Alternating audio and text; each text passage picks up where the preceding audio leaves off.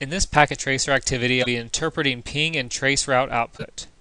The objectives are to distinguish the difference between successful and unsuccessful ping attempts, and to distinguish the difference between successful and unsuccessful traceroute attempts. So in this activity, I'm going to test end-to-end connectivity using ping and traceroute. So first, I'm going to click on InHost, go to Desktop, and click out of that, go to uh, Router. I'm going to ping the Cisco server, hit Enter. It'll just take a minute for it to ping.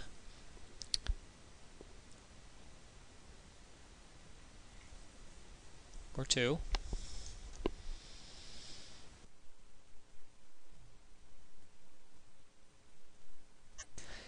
Okay, so from the output, you can see that InHost was able to obtain IP address for the Cisco server. The IP address was obtained using DNS.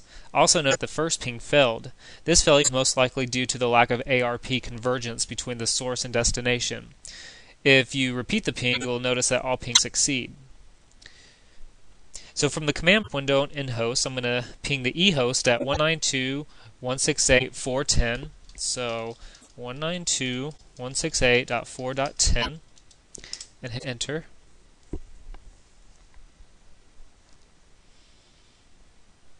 And as you can see, the ping fails. So I'm going to X out of that. And now I'm going to click on the end branch router. I'm going to go to the CLI tab. I'm going to press enter at the router prompt.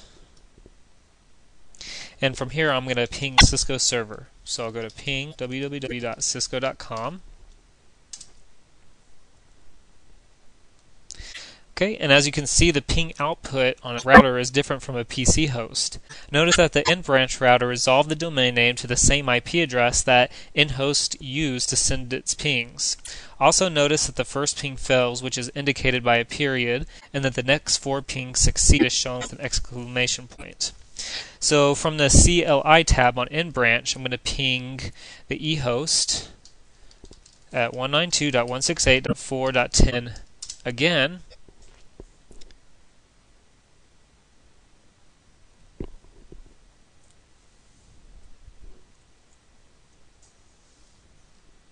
See? And again, ping fails.